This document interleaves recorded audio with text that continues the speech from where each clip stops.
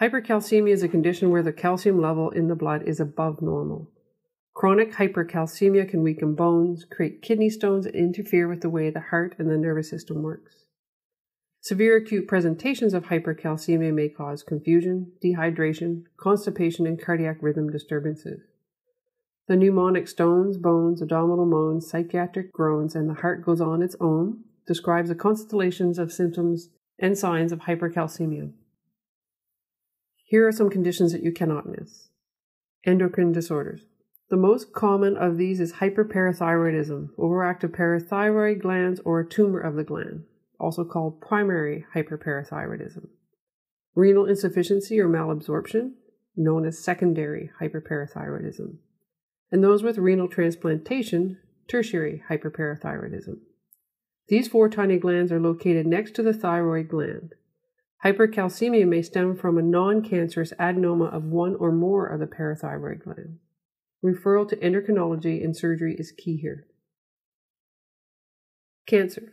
Lung, breast, kidney, ovarian cancer, multiple myeloma, as well as some of the cancers of the blood may cause hypercalcemia.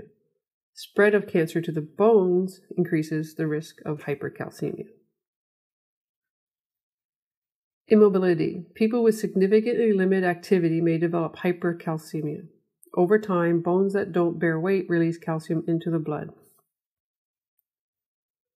Medications. Hypercalcemia may result from taking excessive amounts of calcium, vitamin D, vitamin A, or absorbable alkali, antacids, for example. Drugs such as lithium or thiazides can also cause high blood calcium levels. Hereditary factors. A rare genetic disorder known as familial hypocalciuric hypercalcemia causes an increase in calcium in your blood because of faulty calcium receptors in the body. Dehydration. A common cause of mild or transient hypercalcemia is dehydration. Less fluid in the blood may cause calcium concentrations to rise. Other diseases. Certain diseases such as tuberculosis, Paget's disease of the bone, and sarcoidosis may raise blood levels of vitamin D, stimulating the GI tract to absorb more calcium.